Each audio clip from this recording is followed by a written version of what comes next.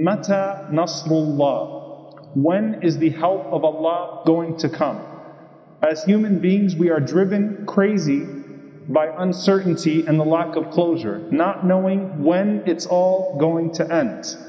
When is the day of judgment?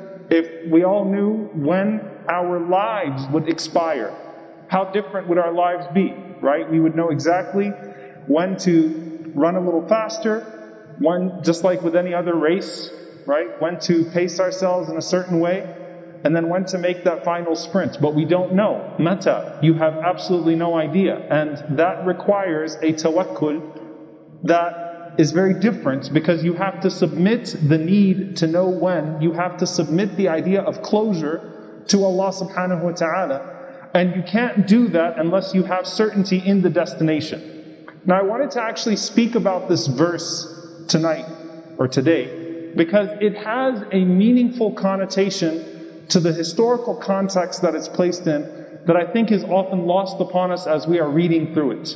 It shows up in Surah Al-Baqarah. أَمْ حَسِبْتُمْ أَن تَدْخُلُوا الْجَنَّةِ Do you think you will enter into Jannah? Do you think you will enter into paradise?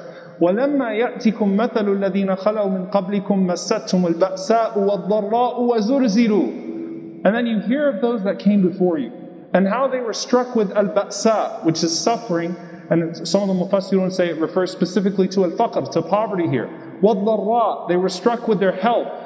All types of external hardship and internal hardship, both of them connected to one another. Wazur ziru, and the fears that shook them.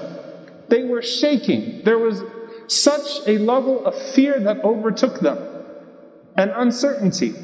حتى يقول الرسول والذين آمنوا معه متى نصر الله until it got to the point that the Messenger of Allah and the believers with him said, When is the help of Allah going to come? Mata nasrullah, ala inna nasrullahi qareeb. Verily, the help of Allah is nearby, it's close to you. What is the historical context of this verse? And I want us to situate ourselves in it for a moment and think about how we would feel. You know, it's convenient for us to read the seerah of the Prophet ﷺ now and say, I wish I could have been there in Badr and Uhud and Khandaq, I would have certainly been on the side of the Prophet ﷺ. I would have strove. I would have never fled the battlefield. I would have never been dissuaded by the hypocrites. I would have been able to overcome all of the pressures. I would have stood firm with the Prophet ﷺ. The reality is, it's hard to know that. It's hard to know that. And Allah places us at our times and places for reasons that are not known to us. But this verse, dear brothers and sisters, according to the majority of Mufassirun, came in regards to Khandaq, the Battle of Khandaq. So let me give you what that historical context is like for a moment. 25 to 30 days completely under siege by the largest army that the Arabs have ever seen in their existence. You are under siege from all directions by an army that has shown its willingness to mutilate you, because this is coming off of the heels of Uhud, where they showed their cruelty. And they have surrounded you from all directions, and they intend to not leave anyone alive by the end of this. Every direction is surrounded, and all you have is the strategy that you've never tried before of a ditch that's been built where each person has to watch every single part of the trench to make sure that it's not penetrated by that large army. One mishap, one opening means the end of everyone in Medina. Because they can all make it through that one opening if that one opening fails. So the pressure of everyone that's having to watch the opening. You have people on the inside that you know now have betrayed you and that are coordinating with the outside. You're hungry. You have a shortage of food and supplies. The people ran out of food. Think about that. They don't have food anymore and they don't have the time to make food or to make their way so that they can have those supplies prepared for themselves. The Messenger of Allah's stomach is bloated out of starvation. And he has two stones tied to his stomach. How do you sleep at night? It's cold at night. People are malnourished, they're afraid. And on top of that, you have the demoralizing hypocrites on the inside that are saying, Ma wa'adana Allah wa rasuluhu illa ghurura. SubhanAllah. I mean, I can't imagine hearing those words in those moments. There are people on the inside that said, Allah and His Messenger promised us nothing but delusion. This whole thing was delusion. We should not have done this. We should not have taken him in. We knew this was going to happen. Some of us told you. But you went to Mecca and you brought him here, and the only thing he promised you was what? Jannah. That's all he promised you. He didn't promise you anything but paradise as a result of taking him in, alayhi salatu wasalam, and committing yourself to this message. And collectively, they're under siege, they're hearing demoralizing messages. How do you sleep at night? With all of these factors, you're shook. You don't know when it's going to end.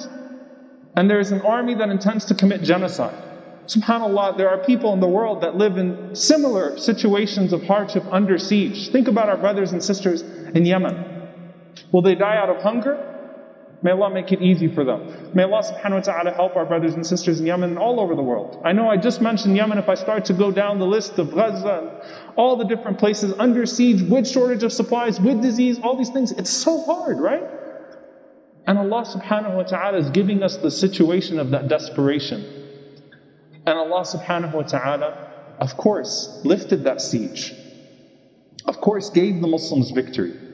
The collective end of the believers is وَالْعَاقِبَةُ لِلْمُتَّقِينَ. That victory belongs to the believers. Some people will die in the process, some people will struggle, some people will go through all sorts of oppression and will succumb to the oppression of this world. But what is the message that the ayah starts off with? أَمْ حَسِبْتُمْ أَن تَدْخُلُوا الْجَنَّةِ You made a claim that you want paradise. You centered Jannah in your pursuit. This life was going to be full of all sorts of surprises and difficulties along the way of that pursuit of goodness. Jannah is surrounded by, by thorns and hardships. It's going to be difficult. and know that the help of Allah is with your patience. My beloved brothers and sisters, the question, when will the help of Allah come, is one that resonates deeply with many who face trials and hardships. In Islam, the help of Allah subhanahu wa ta'ala is a sign of His mercy and wisdom, and it comes at the right time for those who trust in Him. We are reminded in the Quran indeed, the help of Allah is near. This teaches us that even when situations seem dire, a believer should maintain faith and patience as Allah's plan is perfect. One of the key lessons from Islamic teachings is the importance of perseverance through difficult times. The Prophet Muhammad faced immense challenges during his life, yet he never gave up hope in Allah's help. His reliance on Allah in times of need is an example for all Muslims. We encouraged to run, to turn, to Allah in prayer, seek forgiveness, and continuously strive to remain steadfast, knowing that Allah's assistance will arrive when the time is right. Moreover, the help of Allah often manifests in ways we may not immediately recognize. Sometimes the delay in relief is a means of building our character, strengthening our faith, or guiding us to a better path. As believers, Trusting in Allah's wisdom and timing helps us stay resilient, knowing that every difficulty is accompanied by ease and that Allah's help is always near for those who are patient and trusting in Him. Help us build an Islamic studio at www.islamicstudio.org. Link in the description.